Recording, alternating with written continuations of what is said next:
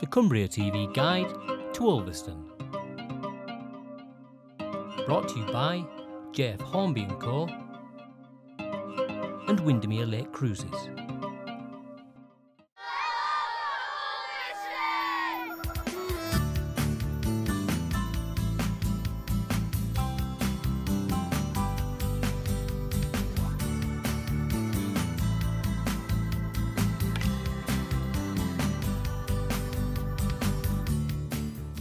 Is a popular market town just 30 minutes from junction 36 of the M6 at the top of the Furness Peninsula in South Lakeland and is characterised by its cobbled streets, traditional inns and boutique shops.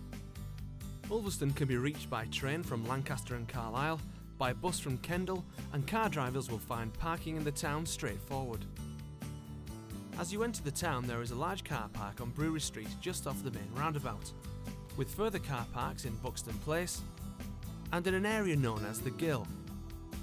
Each has ample provision for disabled drivers with public conveniences at the Gill, and each one is just a short distance from the town centre. When you walk around Ulverston, it's clear that it grew up and evolved over a long period of time. You're going to see cobbled streets, you're going to see little back alleyways and ginnels that have been that have their footprint way way back, hundreds of years back, um, and you're going to see the place exactly as you know, our grandparents would have seen it. It hasn't changed at all in terms of the streetscape and the layout of the place. And everything is, is on a scale which means that you can take it in. You, you, you, feel as if, you know, you can become part of it and connect with it. There's an outdoor market on a Thursday and a Saturday. Um, they're very, very much worth a visit. There's an indoor market in a grand Victorian building uh, which is open five days a week. There's a, a real mixture of shops from um, branches of, small branches of multinationals right the way through to really interesting, quirky, individualistic uh, places run by people who are experts at what they do and um, are going to make you welcome. Typical of the independent shops in Ulverston is Sutton's Bookshop. Expert knowledge by the owner means that all tastes are catered for, with a large range of children's books, travel writing, and a vast range of local interest books, it's definitely worth a visit. We've got a young guy who uh, runs a tea shop in Ulverston. He's just won himself a national award because of the level of service and the care and the interest that he takes in, in, in, in the product that he's, he's, he's providing. Um, but whether you sit down in one of our cafes, uh, whether you sit down in one of our tea rooms, whether you sit down in one of our licensed premises, you're going to enjoy yourself. We've been running the tea room here for five years. We saw a building for sale opposite our family's grocers that uh, ran for 102 years and thought we'd bring back the same service and quality that was associated with the family name. The building's an 18th century building that we, we spent six months restoring. It's got uh, Victorian furniture and fittings and it's just a special sort of ambience that's created. We have two floors. In the winter we have open fires so people coming off the streets and warm up by. And in the summer we've got a garden that catches the sun most of the day.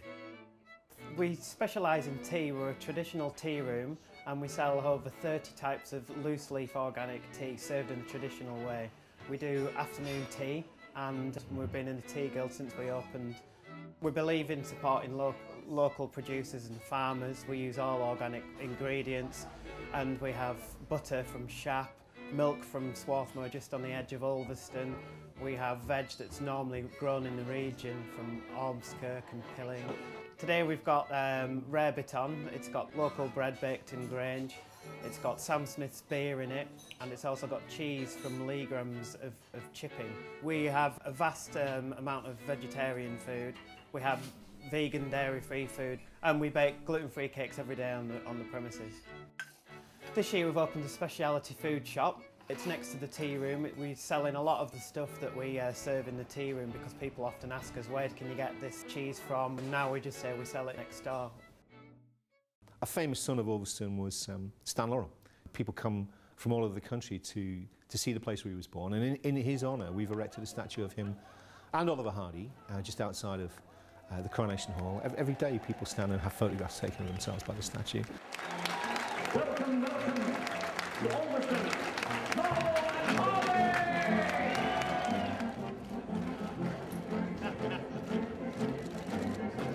This most beloved man, this beloved Stanmore, young Mr Jefferson, Stanmore Regiment is part of the, the double act, probably the most famous, the most wonderful, the most fabulous comedians ever, ever, ever in the history of show business. Laurel and Hardy, who made the world laugh. Um, around the corner from that, Stan Laurel's memories, memories kept alive by uh, a museum, uh, the Laurel and Hardy Museum. Um, you don't have to be a Laurel and Hardy fanatic to get a lot out of a visit to that particular place. It is very, very interesting. The people who run it know their stuff and know what all the exhibits, what the significance of all those exhibits are. You could, uh, you could take a walk um, up our hill, Hoad Hill, at the top of which there's uh, a replica of the Eddystone Lighthouse because another famous son of Ulverston, Sir John Barrow, his life was commemorated by the construction of that memorial. And last year, the town council, again, as I say, Ulverston punching above its weight, realising that if we wanted people to see it, we were going to have to do a lot of work. And a 1.2 million two-year project culminated with a newly refurbished Hoad Monument, which now welcomes the public and explains to the public what it's about. And if you can't walk up the hill, give us a ring at the town council and we'll drive you up the hill. Well, I feel very proud, to be honest. I feel proud that the Ulverston community invited me to come and open this, this monument. I feel proud that my long lost, long departed ancestor still has such strong roots and still resonates amongst the community. It carries a dominating position over the valley. You can see it as you drive in down the A590. And I've been told by a number of people that, not just in Ulverston, but the whole across the peninsula, that this is the sign that they've come home. For a relatively small town, Ulverston has a large variety of attractions. Just off the first roundabout as you enter town is Cumbria Crystal. We are the last remaining full lead crystal factory handmaking in the UK, which means that we melt and make 31% full lead English crystal and we cut it here. Um, everything's made by hand and it's a very artisan based factory. I came to work with Cumbria Crystal about two years ago as a consultant and came on board as their creative director. They hadn't had any new designs here for a long time and we just started building up a new collection for the company alongside the traditional work that they do.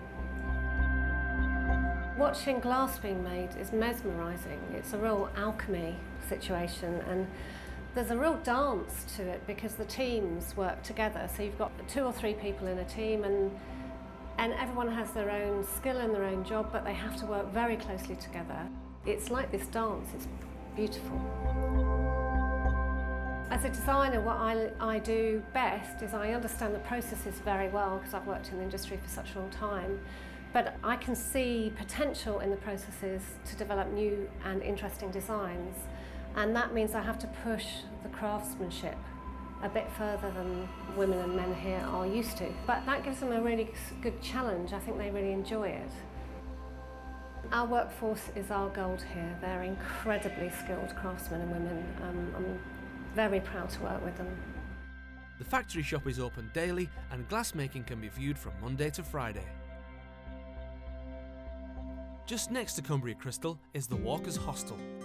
We're an independent hostel and outdoor activity centre uh, based on the outskirts of Ulverston, very close to the Lake District, uh, at the bottom of Hoad Hill. We've got seven unique bedrooms, ranging from two to six beds. Uh, quite a lot of them have got bunk beds. We've got separate male and female shower rooms. Uh, we've got the common room, sort of dining room, which we're in at the moment, uh, TV lounge, uh, fully fitted kitchens. We do offer the opportunity for individuals and groups coming in to do outdoor activities through a range of local providers. And also we can offer guest guided walks and baggage transfer service up and down the Cumbria Way. Whatever it is that you want to do, you know, you'll be able to do it here somewhere. You want to walk the start of the Cumbria Ways here, if you're, whether you're a rambler or a serious hiker. Whatever it is that you wanted to do, you, you'll be able to make a start and, and take part in that activity here in Ulverston. My name's Jim and I'm shop manager at Gill Cycles in Ulverston. The current owners have had the shop for five years now. Before that it was a bike shop since sort of the 80s. So it's been around a long time. I think all the locals really know about us now uh, and trust the service we provide. The reason people come to Gill Cycles really is the range of bikes we stock, the advice we can give them. and Generally our expertise in the workshop and on the shop floor. If we haven't got something in stock, we try and order it as soon as we can. We're right on the coast to coast route as well. Literally shop bikes come right past the shop door. So a lot of people come in just even just for a chat if nothing else. As well as catering for outdoor activities, Ulverston also has its fair share of nightlife. My name's Roger Chataway. I've been in Ulverston for 25 years, starting at the Rose and Crown. The Rose and Crown presently is a very traditional pub. Log fires, slate floors, oak beams. It's a listed interior. It's a little bit younger down there in the evening. Has a good selection of wines and real ales. The kids organise events themselves in there. A huge beer garden at the back. But it, it also has a good food following. There's a foot of Cumberland sausage, a pound of gammon, a rack of ribs, but it's large portions and for the healthy appetite.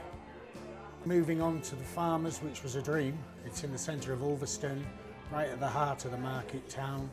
It's a meeting place. In the mornings, there's a lot of people who meet for coffee and do. We hopefully will be busy for lunches. We'll have our tea time drinkers, our evening meal diners. There's such a wide range of food in the farmers, but I can honestly say it's all fresh and it is all prepared on site. There's nothing bought in. We specialise in real ale and premium lagers. The real ales, we try to put at least three local beers on from the area. And I mean local as in Cumbria. We are known as an information centre as well. Anybody uh, arriving in Ulverston normally asks where to go for something to eat or what to do, and they normally say there's only one place, and that's the farmers.